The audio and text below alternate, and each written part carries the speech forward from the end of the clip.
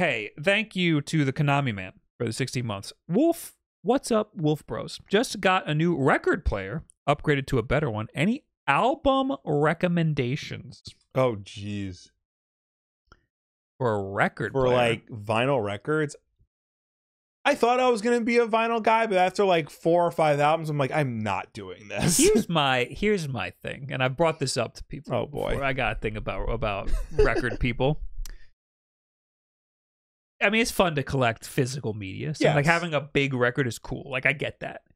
People who are like it sounds better, I got an issue with that because most of the shit that you're listening to on these records, if it came out in the last 30 years, hmm it's being mixed and mastered digitally and recorded digitally. So you're just taking the digital recording and you're listening to it in a in an analog. yeah. So why don't you just take the digital recording and listen to it digitally?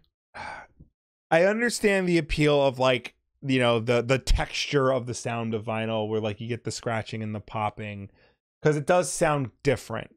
Yeah, but that you're just this is sh- shittier. That, that you're you're shittier on purpose. It's it's like people who appreciate who watch movies on VHS because VHS has this very particular look and feel and aesthetic to it. It has a Mhm. character to it that you don't get on any of like the digital mediums. I I appreciate that, Yeah. yeah. but it, it's the pretentiousness of the audiophiles that are like it's the warmth of the. Of the it's like no, it's like that's not how it was intended to be listened to, though. Yeah. You know, Also, maybe if it's from the fucking seventies, then maybe.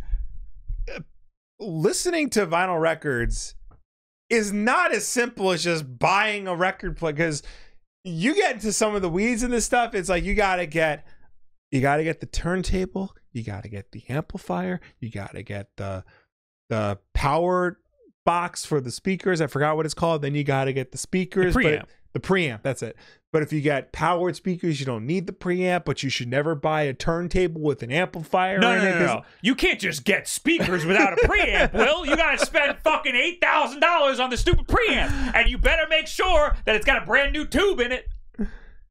You go to Walmart, you get the get the suitcase uh turntables that I- are like 50 bucks. I think we bought Dad one of the suitcases. You bought turntable- Dad one, okay. yeah. And then my old roommate bought one for himself because that's cool. I'm gonna buy one. Then Yeah. he bought one, and I had it. I was filming something in the apartment, and I had it in a shot. The little suitcase, uh, v- Viltrux or whatever. It was. It's. It's. I don't. I don't know. Victrola and Crosley are the two big ones. Victrola is Yeah. the cup. Somebody saw it in a shot and was like, "Hey, you should have spent more money and gotten an Audio Technica this thing." And they sent me a link, and I was like, "Hey, man, shut the fuck up! it's not even mine." It's it's the music equivalent of hey, I bought an Xbox. Oh, did you know you can build a PC? Yeah, yeah. for, for more money, but you get a better gaming experience. Yes, yes. Um, anyway, they asked what to record answer, we to should. answer your question, honestly, anything made before the year 2000, like eh, specifically anything from the 60s and 70s when vinyl records yeah, were important.